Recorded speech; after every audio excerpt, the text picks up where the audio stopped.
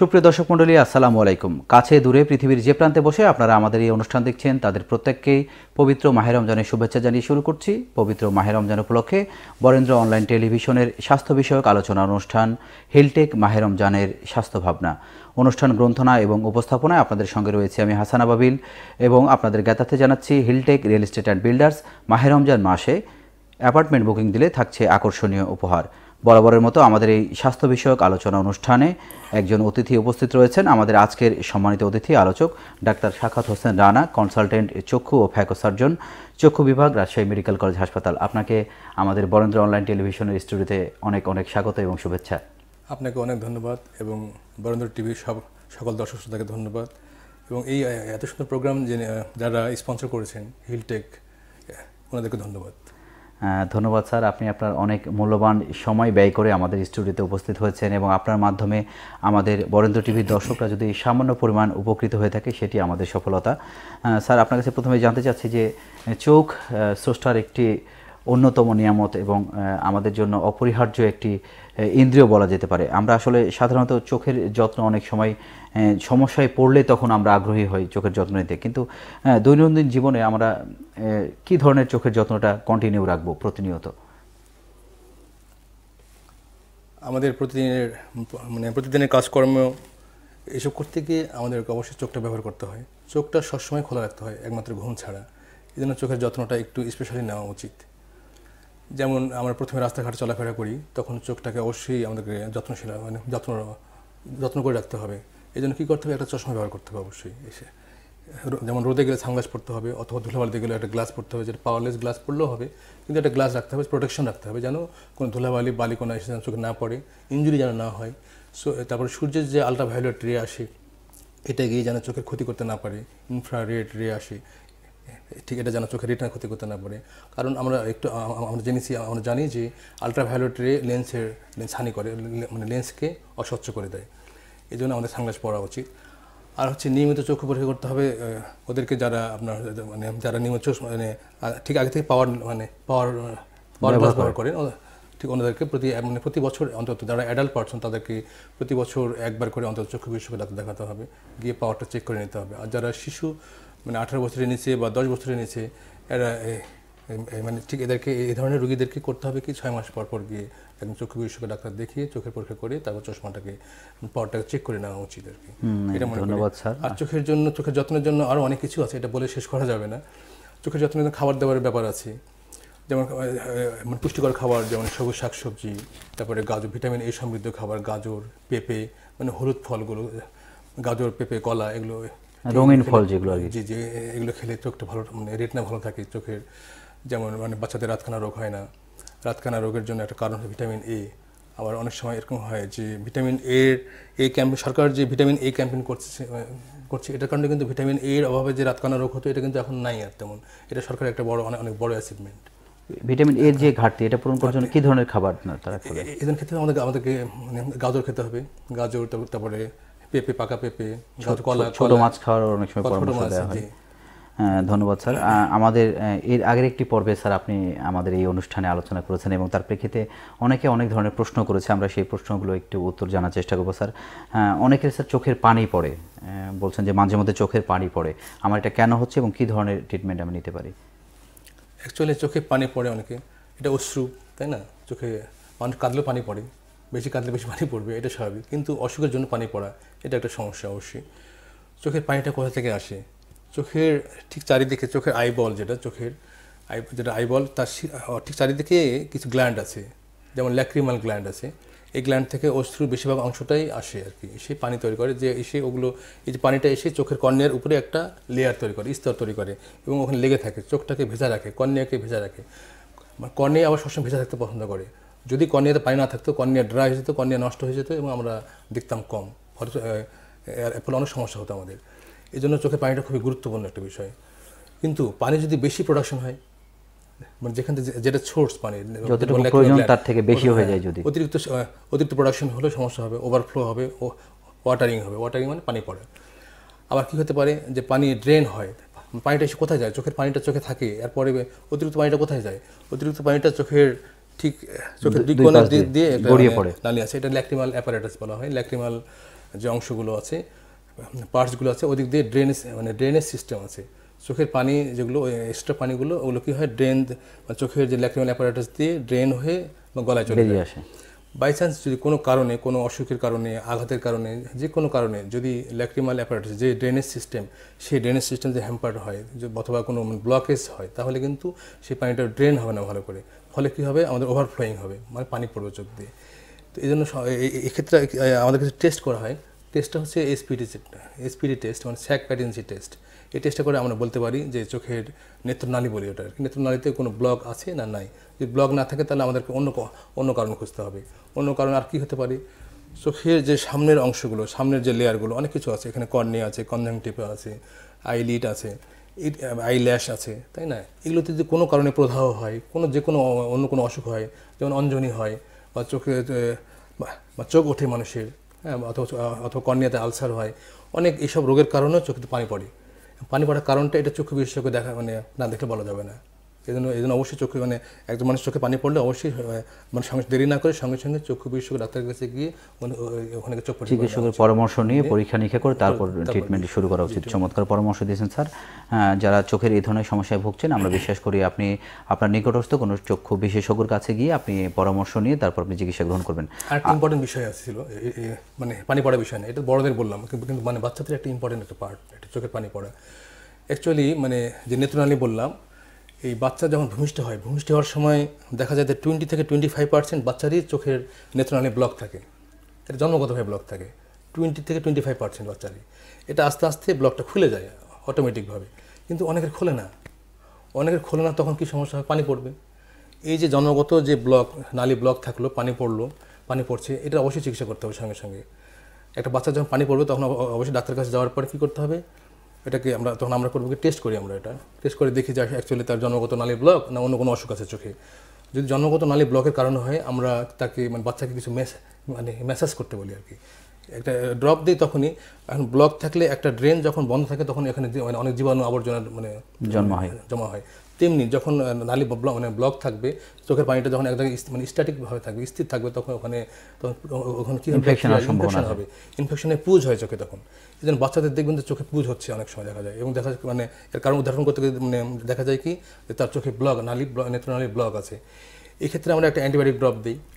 আর কিন্তু ব্লক আছে এটা মানে মেন মেন কারণ হচ্ছে ব্লক। ব্লকেজ তাই না? ব্লক হচ্ছে নেত্রনালীতে। এই এখন এই ব্লকটা একটা ছোটো বাচ্চা। এবং তার জন্মগতভাবে ব্লক এটা কী করব আমরা তাহলে? এটা আমরা করি কি? যে এক বছরের মধ্যে আমরা এটাকে মানে মাসাজ করে আমরা মানে ব্লকটা ঠিক করি। মানে মাসাজটা করি কীভাবে? ঠিক চোখের কোণে যে এখানে ল্যাক্রিমাল স্যাকগুলো আছে যেখানে পানিটা জমা হয়ে থাকে এখানে আমরা চাপ দিই। ঠিক এভাবে এখানে চাপ দেওয়ার পরে আমরা আস্তে করে নিচে নেমে নিয়ে আসি। এভাবে ঠিক এখানে চাপ দিই চাপ দেওয়ার পর নিচে নেমে নিয়ে আসি। সঞ্চালনটাকে বাড়িয়ে দেয়া। জি এটাকে বাড়ি করে মানে জাস্ট মানে মানে ব্লকেজটাকে ওপেন করা হয় আর কি। এভাবে।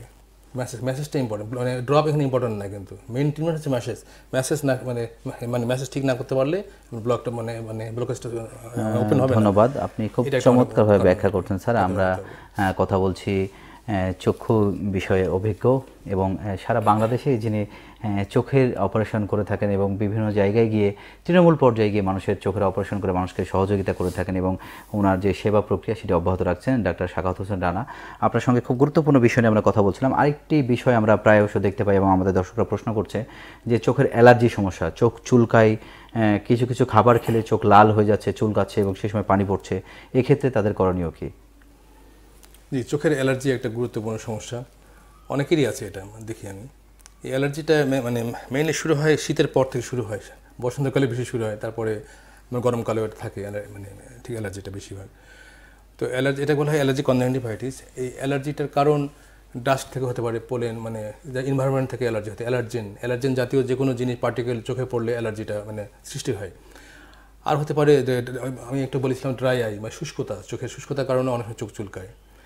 এসব কারণ। এইসব কারণের জন্য এইসব অ্যালার্জির জন্য আমাদের চোখের চিকিৎসা নিতে হবে অবশ্যই ডাক্তারের কাছে গিয়ে, চোখের ডাক্তারের কাছে গিয়ে। সেক্ষেত্রে আমরা কিছু ড্রপ দিই। ড্রপগুলোর মধ্যে আছে এক জাতীয় ওষুধ, যেটা হলো স্টেরয়েড জাতীয় ওষুধ। স্টেরয়েড জাতীয় মানে হচ্ছে মানে ড্রপ দিই এর সঙ্গে আবার একটা ড্রপ দিই, অ্যান্টিস্টামিন কিছু ড্রপ দিই। তো আমরা তো এটা দেই, ঠিক আছে, কিন্তু রুগীরা মনে করে কি, যে এই ড্রপটা মানে স্টেরয়েড জাতীয় যে ড্রপটা দিলে খুব আরাম পায় কিন্তু তারা। আরাম পায় মানে চোখের অ্যালার্জি মোটামুটি কমে যায়। এটা তো মানে ভালো হয় না অ্যালার্জিটা মানে মানে ভালো হবে আবার পিরিয়ডিক মানে অ্যাটাক আসবে আবার ফিরে আসতে পারে। কিন্তু রুগীরা ভুল করে একটা জায়গাতেই। আমরা তো বারবার মানে ডাক্তার কাছে যেতে অভ্যস্ত নই বা আমরা বিরক্ত বোধ করি। নিজে নিজে একটা সময় সেই ড্রপটা ব্যবহার করা সেলফ মেডিকেশন করি। আমরা অথবা ওটিসি মানে একটা একটা জাস্ট দোকানে গিয়ে আমরা ড্রপটা নিয়ে চলে আসি। মানে নিজে নিজে নিয়ে এসে ড্রপটা ব্যবহার করি। স্টেরয়েড জাতীয় ওষুধের ক্ষেত্রে একটু মানে যা সাবধানতা মানে আমি যেটা বলব চোখের জন্য ইম্পর্টেন্ট সেটা হচ্ছে স্টেরয়েড জাতীয় ওষুধ মানে বারবার দিলে বা বেশি দিন ব্যবহার করলে চোখের প্রেশার বেড়ে যায়। তো চোখের প্রেশার বেড়ে মানে বেড়ে গিয়ে চোখের গ্লুকোমা নামে একটা রোগ সৃষ্টি হয়। এবং গ্লুকোমা থেকে কি হয়? চোখের যে অপটিক নার্ভ যেটা আমাদের দেখার সাহায্য করে সেই অপটিক নার্ভটা ড্যামেজ হয়ে যায়। এবং ড্যামেজ হয়ে যায় অপটিক অ্যাট্রফি হয়ে যায়। ফলে হবে কি? সে পার্মানেন্টভাবে সে অন্ধ হয়ে যেতে পারে এক সময়। জাস্ট একটা ড্রপ ব্যবহার করার কারণে। ভুলক্রমে বেশি দিন ধরে একটা ড্রপ আমি এরকম রুগী অনেক পেয়েছি যে মাসের পর মাস বছরের বছর সে একটা ড্রপ ব্যবহার করে যাচ্ছে সে আরাম পায় বলে। হঠাৎ করে আমার কাছে এসছে কীভাবে? সে গ্লুকোমা নিয়ে আসছে চোখের প্রেশার বেশি। এবং তার গ্লুকোমা সার্জারি করা লাগছে লাগার পরেও সে চোখের মানে মানে চোখের ইম্প্রুভমেন্ট তেমন হয় নাই। এই জন্য চোখের ড্রপ আমরা ইচ্ছা মতো ব্যবহার করব না। অ্যালার্জি হলে অবশ্যই ডাক্তার কাছে যাব গিয়ে ড্রপ নিবো আমরা। খুব চমৎকার ব্যাখ্যা করেছেন। আচ্ছা কিছু খাবার এমন কোনো খাবার আছে কিনা যেটি খেলে অ্যালার্জিটা অ্যালার্জি হয় যেমন গরুর মাংস হাঁসের মাংস হাঁসের ডিম পুঁই শাক বেগুন ইলিশ মাছ চিংড়ি মাছ এগুলো খেলে অ্যালার্জেন ভাবটি মানে এগুলোর মধ্যে অ্যালার্জেনটা বেশি আছে একটু। তবে একটা কথা কি যে যার যে খাবারে অ্যালার্জি হয় সেই খাবার খাবে না। অনেকে আছে বেগুন খেলে তেমন কিছু হয় না। মানে বেগুনটা কমনলি অ্যালার্জি তৈরি করে। অনেকে আছে যে মানে যেমন পুঁইশাক খেলে অ্যালার্জি হয় না ওই- লোক ওই লোক পুঁই শাক অর্থাৎ খাবে। যেটা খেলে সমস্যা হচ্ছে সেটা অ্যাভয়েড করতে এটা- হবে। এটা পেশেন্টকে পেশেন্টের গার্জিয়ানকে আপনার আইডেন্টিফাই করতে হবে কোন খাবার খেলে তার অ্যালার্জিটা বেশি হচ্ছে। ধন্যবাদ ডক্টর শাখাত হোসেন রানা আপনার সঙ্গে খুব গুরুত্বপূর্ণ কিছু বিষয় নিয়ে কথা বলছিলাম, যেটা কিনা আমাদের প্রত্যেকের জন্য খুবই খুবই ইম্পর্টেন্ট এবং গুরুত্বপূর্ণ বিষয়। সুপ্রিয় দর্শক মণ্ডলী, আপনারা দেখছেন পবিত্র মাহের রমজান উপলক্ষে বরেন্দ্র অনলাইন টেলিভিশনের স্বাস্থ্য বিষয়ক আলোচনা অনুষ্ঠান হিলটেক মাহের রমজানের স্বাস্থ্য ভাবনা। আমরা এই পর্যায়ে নিয়ে নিচ্ছি একটি ছোট্ট বিজ্ঞাপন বিরতি, কোথাও যাবেন না, আমাদের সঙ্গে থাকুন। Hilltech real estate and builders নিয়ে এলো। সর্বাধুনিক সুবিধা সম্বলিত আবাসন প্রকল্প। হিলটেক এলাহি টাওয়ার প্রিয় রাজশাহীবাসী আসসালামু আলাইকুম। আপনাদের সবাইকে জানাচ্ছি হিলটেক রিয়েল এস্টেট অ্যান্ড বিল্ডার্সের পক্ষ থেকে পবিত্র মাহ রমজানের শুভেচ্ছা। Hilltech real estate and builders আপনার স্বপ্নকে বাস্তবে রূপদানের জন্য নিয়ে নতুন উদ্যোগ। হিলটেক এলাহি টাওয়ার পবিত্র রমজান মাসে বুকিং করলেই থাকছে আকর্ষণীয় উপহার। সুতরাং আসুন আমাদের প্রজেক্ট ভিজিট করুন। হিলটেক এলাহি টাওয়ার, আধুনিক সুযোগ সুবিধা সম্বলিত আবাসন প্রকল্প পূরণ করবে আপনার স্বপ্ন। রাজশাহী সিটি কর্পোরেশনের প্রাণকেন্দ্র সাহেববাজার আলুপট্টির পাশে সাগরপাড়া রোড, বাংলাদেশ ক্রিকেট দলের সাবেক অধিনায়ক খালিদ মাসুদ পাইলটের বাড়ির সামনে ঘোড়ামারা রাজশাহীতে। Hilltech real estate and builders your dream our initiative সুপ্রিয় দর্শক মণ্ডলী, বিজ্ঞাপন বিরতি পর আবারও আপনাদেরকে স্বাগত জানাচ্ছি পবিত্র মাহের রমজান উপলক্ষে বরেন্দ্র অনলাইন টেলিভিশনের স্বাস্থ্য বিষয়ক বিশেষ আলোচনা অনুষ্ঠান দেখবার জন্য হিলটেক মাহের রমজানের স্বাস্থ্য ভাবনা, Hilltech real estate and builders. মাহের রমজান মাস জুড়ে অ্যাপার্টমেন্ট বুকিংয়ে দিচ্ছে আকর্ষণীয় উপহার। আপনাদের সঙ্গে রয়েছে আমি হাসান আবাবিল এবং আমরা কথা বলছিলাম আমাদের আজকের আলোচক সম্মানিত অতিথি, ডাক্তার শাখাওয়াত হোসেন রানা, কনসালটেন্ট চক্ষু ও ফ্যাকোসার্জন চক্ষু বিভাগ, রাজশাহী মেডিকেল কলেজ হাসপাতাল। স্যার, আপনাকে অনেক অনেক স্বাগত জানাচ্ছি। বিরতির পর আবার আপনার সাথে কথা বলতে আসছি।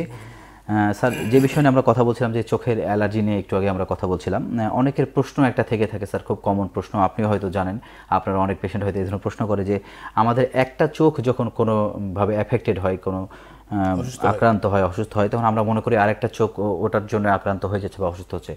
আসলে এটা কীভাবে প্রক্রিয়াটা ঘটে? এটা যে পুরোপুরি ঠিক তাও না আবার যে এটা ভুল কথা তাও না।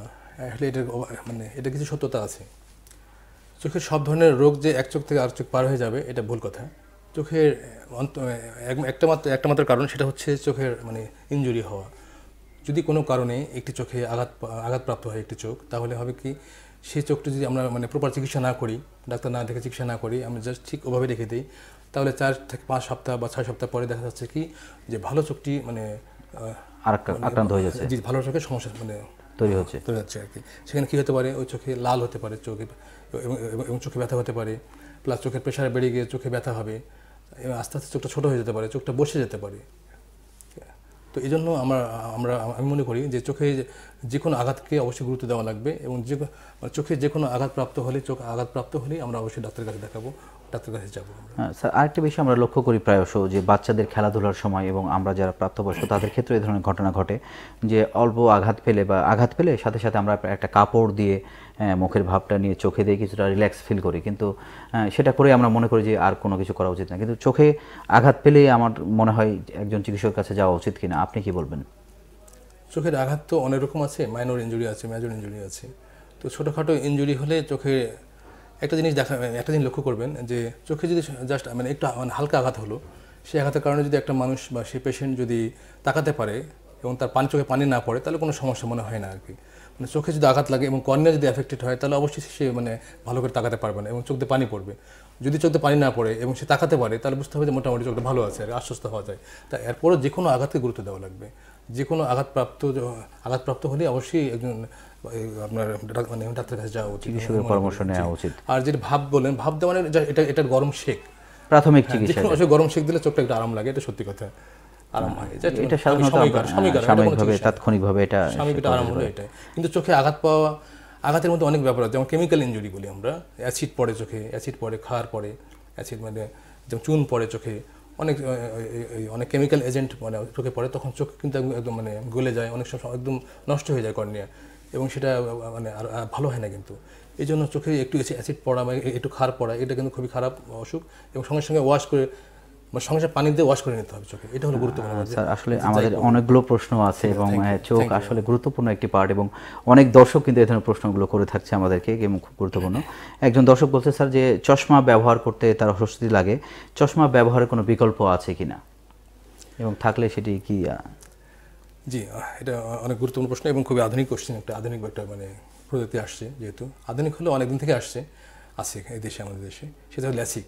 মানে চোখের চশমা যারা ব্যবহার করে, যাদের অনেক পাওয়ার লাগে, চারশো, পাঁচশো পাওয়ার মানে ব্যবহার করে মানে four point zero five point zero তারা হয় কি চশমা খুললে আর কিছু দেখতে পায় না। এটা একটা মানে অনেক বিড়ম্বনা, তাই না, চশমা? তো এই জন্য একটা মানে একটা মানে ভালো একটা মেজার আছে, যেটা হলো কি যে আঠারো বছর পরে যদি কারও চোখের চশমার পাওয়ার অনেক লাগে, সে ইচ্ছা করলে ল্যাসিক করে নিতে পারে। ল্যাসিক করে নিলে তো সে মানে পুরোপুরি চশমাবিহীন জীবনযাপন করতে পারে হ্যাঁ, ল্যাসিকটা সাধারণত কি প্রক্রিয়া এবং এটা কীভাবে করা হয়? এটা কর্নিয়ার সার্জারি লেজারের মাধ্যমে কর্নিয়াকে মানে কর্নিয়ার লেয়ারে অপারেশন করা হয় এটা। অপারেশন করার পরে জাস্ট কয়েক সেকেন্ডের ব্যাপার অপারেশনটা। মিউল অপারেশনটা মানে অনলি কয়েক সেকেন্ডের ব্যাপার।